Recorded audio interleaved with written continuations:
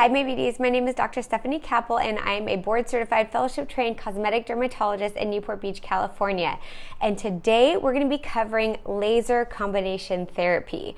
So, the reason why I wanted to cover laser combination therapy is because lasers are so exciting and such amazing devices, but I feel like there's not that much information out there about them, and they could be really hard to understand. And there's so many, and there's so many different kinds for so many different things that it could be overwhelming and confusing to people who are trying to learn more about them. So, hopefully, I could break it down and not make you guys afraid of combined laser treatments. And what I mean by combined is doing multiple lasers in one day. So, so with some lasers, when you have downtime, you don't want to have a week of downtime and then have another laser with another week of downtime and then another week of downtime on top of that. But a lot of times we can combine lasers specifically to customize each individual patient experience and have it all done at the same time so that, you know, you're recovering for one week at a time and you're having everything done, everything covered, and each specific skin change that you're hoping to resolve will get targeted therapy for each individual skin problems. So whether that's hyperpigmentation, redness, fine lines and wrinkles. Now, of course, there's lasers that do a little bit of everything, like, say, for example, a Fraxel or a Halo or a Clear and Brilliant or even like a CO2 is going to help with fine lines, wrinkles, pore size, collagen stimulation, helping hyperpigmentation, helping with redness. But when you get specific lasers that are targeted therapy, like a V beam or an Excel V or a KTP for redness, or like a Pico or a YAG or, you know, another type of laser that's going to target pigmentation, like an 8 10 nanometer diode. I have to not get so scientific. I need to keep it simple. But I know you guys like it when I get scientific. So, okay, I may cut that part out. When you combine each individual treatment for little stubborn areas that may require a little bit higher level of care or a little bit more targeted therapy, it knocks it out of the park. The results are next level and there's nothing really that compares to it. For example, say someone has some stubborn little brown spots, but they also have sun damage and large pores and fine lines and wrinkles and want just rejuvenation. They'll have a Fraxel. So Fraxel is going to do all those things. It's going to help the texture of the skin by stimulating collagen. It's going to help with fine lines and wrinkles. It's going to shrink pore size. It's going to make, you know, the pigmentation better, but if you have like specific really stubborn dark spots, and you go in with a little pico to kind of spot treat those and do a fraxel over the entire face. Or say someone has like little broken capillaries on like the nose or they have like a little cherry angioma on their face. You do a v-beam in conjunction with a fraxel that just knocks it out of the park and there's nothing else like it. So yes we do all these lasers same day same treatment within you know minutes of each other. And then you recover one week later and not only does your skin overall look amazing because you've had all of these benefits to the skin, but you've also had specific targeted therapy for those little stubborn things that really annoy you that may not have completely gone away should you have just gotten one laser alone. Like, say, a stubborn brown spot wouldn't have probably gone away with a Fraxel. It would fade it and make it look better. But if you want it gone and you're neurotic with your skin and you want targeted therapy and you want results and you want everything to be perfect, which I should, I know I should never say we can make the skin perfect, but we kind of can. So before I move on, I want to make a little quick announcement. I also want to make sure that you subscribe to my YouTube channel because I drop derm info every Sunday morning with new topics and debunking skin myths, whatever you guys want to hear about. Drop a comment in the comment section and let me know what you guys want to hear about because I see you, I hear you, and this is my way to engage with you and give you what you need. Give you what you need. And I also wanted to say that I'm upping my YouTube game a little bit because before I literally had my iPhone in my white coat pocket in my clinic and I would throw it up without a ring light, without without anything. And I'm not saying I'm going to be like a professionally edited YouTube polished channel like some of my other colleagues are, but I'm to get a better camera. I'm to film in landscape view. I'm to have better lighting, and then hopefully it'll be a better experience for everyone. And especially now that YouTube has a better platform for creators, it just makes it easier for us to use this as an educational platform to get information out to you. So um, be sure to subscribe to my channel and hit the bell for notifications so that you don't miss out. Also, there's a lot of new and exciting things coming down the pipeline in dermatology, in injectables. Allergan's launching new products that are going to be game changers. We're going to um, have access to that next month. I'm a faculty member, so I get first dibs. I'm so excited to show, share that with you.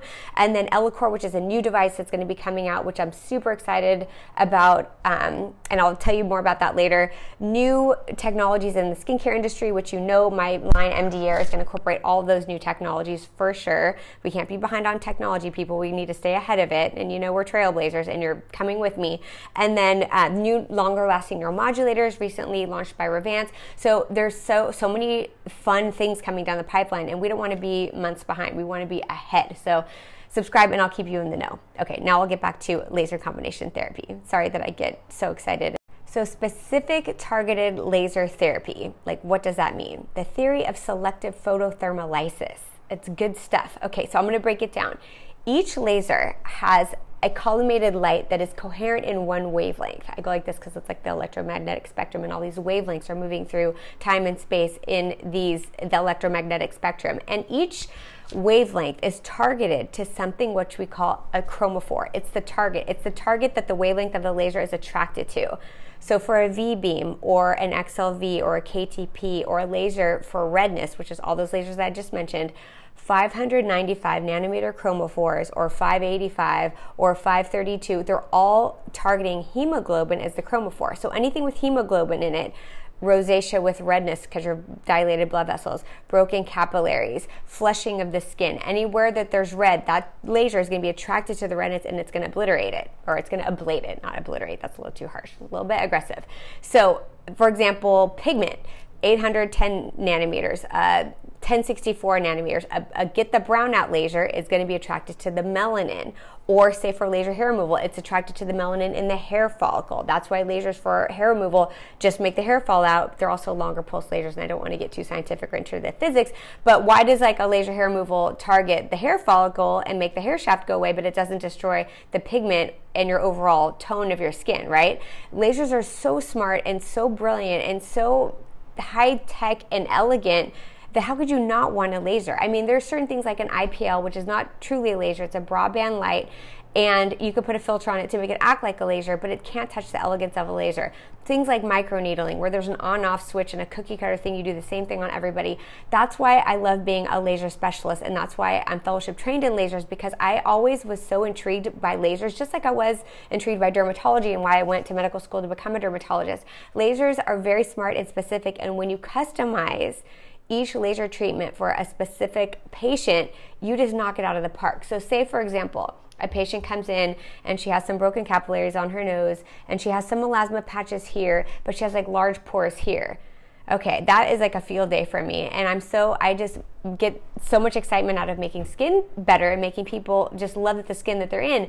I get my Pico laser to target the melasma. Well, depending on the depth of it, I may use a 1927 clear and brilliant handpiece then I do a little Fraxel, you know, the 1550 nanometer handpiece for Fraxel to shrink the pores. And then we do the V beam with a 3 by 10 millimeter spot size, not the 10 millimeter spot size. And people always mess that up, and that's why they don't get great V beam results.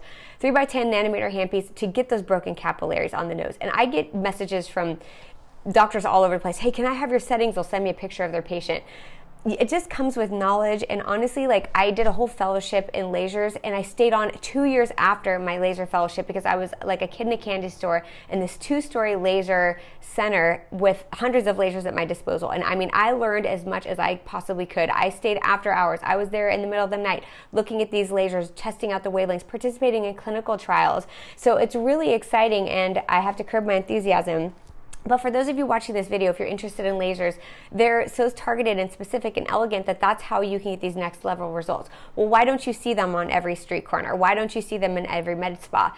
Because they're harder to drive as the driver, meaning the laser provider. So you have to be well versed in lasers, and most dermatologists are, most plastic surgeons are. But for those who aren't, you know, it can be scary. And I mean, it's not just like an on off switch cookie cutter drop down menu. You have to understand what wavelength to use, the spot size, the fluence, which is the energy, the pulse width, which is how fast the laser fires, the type, the DCD, the direct cooling device that you're going to be using, how to pre and post treat, how to combine them, what order to go in. For example, if you're going to get a V beam and you want to do the V beam first, not the Fraxel, because the Fraxel can cause some redness of the skin. Now, when the V beam is looking for its little chromophore, which is hemoglobin, to target the rosacea, the broken capillaries, the redness, it's going to get the redness that was left over from the Fraxel more than it's going to get the redness from the actual true problem that we're trying to treat. Hopefully this makes sense. So you have to know, eh, you know, it just takes years of experience and I'm happy to share that with you or even any new provider who wants to learn about laser. I'm here to share the wealth of information because I spent 20 years of my life not only learning dermatology but understanding lasers and devices in you know postgraduate fellowship um, with an amazing mentor of mine and participating in these clinical trials and really understanding lasers. So any questions that you guys have, drop them in the comment section. I'll try to get to as many as I can, or if I can't get to the comments because most of my time I'm in my actual office treating patients and treating my beauties, I'll do another video you know addressing your questions and your concerns. But i want you guys to not be afraid of combined laser therapy and i want you guys to understand the difference between lasers and things like morpheus 8 microneedling which is kind of like a jack of all trades master of none that may not give you these long-term results that are not only impressive clinically with respect to the outcomes and the results but nothing can touch them. And they last forever. I mean not forever. Say you have rosacea and you have a v-beam treatment you're going to be clear for maybe one, two, three years. It depends on your genetic blueprint, especially if you're like Irish, English, Scottish heritage and you have a genetic blueprint, a predisposition to make these blood vessels. You may have those, you know, that redness or that flushing come back one or two years later, and then you hit it again with the laser to kind of maintain your results and the long lasting outcomes. But the results from, say, for example, a Fraxel for anti aging benefits, for reducing the incidence of precancerous and skin cancer lesions, those results stay with you. It's not like, oh, you have some temporary swelling and acne scars and wrinkles look better after a microneedling, and then two months later you're right back to your baseline, but your money out of your bank account and your time and your downtime that you can't really get back. So that's why I'm a big proponent of, um, of lasers and combining these laser treatments.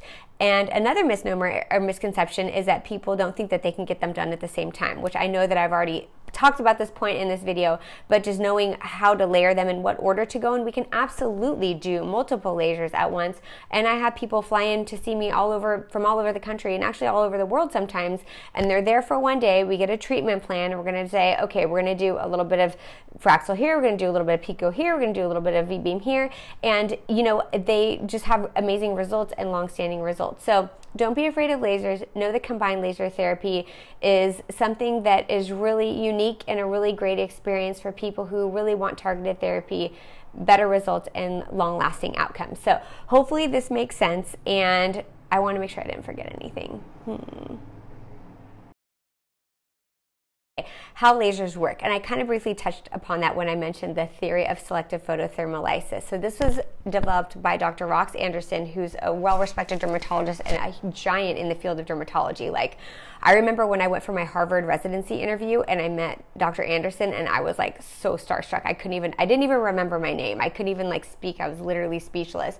And the funny thing is that I, when I trained in LA for residency at UCLA and I would see, you know, celebrities and influencers, I would never get starstruck. But by giants in the field of dermatology who have these brilliant minds and who have really um, made such amazing contributions to the field of dermatology and aesthetics, I get totally starstruck.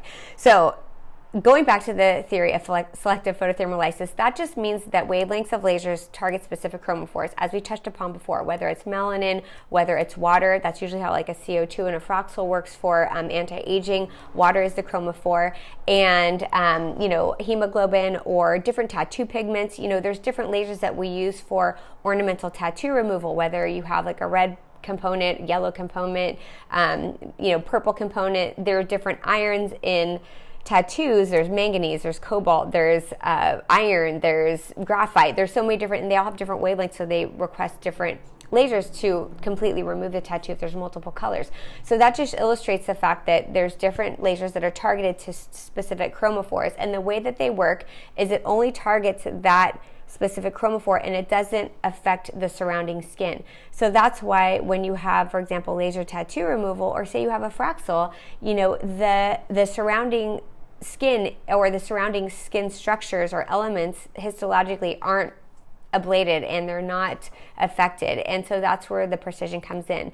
Also, for anti aging and collagen stimulation, the way that ablative and non ablative or combination ablative and non ablative lasers work is there's dissipation of heat, and that stimulates your fibroblasts to make collagen, to make elastin. It kind of wakes your skin cells up to produce more of this extracellular matrix proteins that gives skin that tight, beautiful, smooth contour and texture that we used to have when we were younger. And the reason why we had it when we were younger is because our cells were upregulated to make all these proteins and to renew themselves. And over time, they kind of get sleepy and senescent. So you need to kind of like kick their butt a little bit and wake them up so that they get regenerated and start pumping out collagen and elastin and ground substance and hyaluronic acid like they used to.